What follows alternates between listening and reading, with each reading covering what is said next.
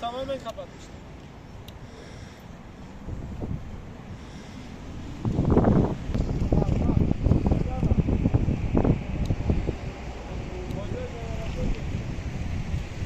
Ama arkadaşlar bak dikkat edin şeylere ağaçlara.